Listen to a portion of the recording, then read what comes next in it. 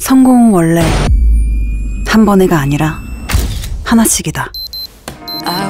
매일 아침 일어나 목표를 되새기고 루틴을 반복하고 숫자를 기록하고 그렇게 기본을 지키며 얻어낸 하루치의 성공. 그 작은 성공을 하루, 이틀, 일주일, 한 달 조금씩 쌓아가다 보면 마침내 만나게 된다.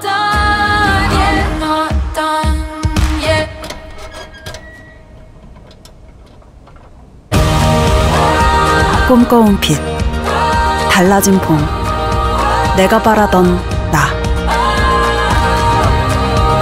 성공은 언제나 한 번에 빠르게, 아니, 하나씩 바르게. 주비스 다이어트.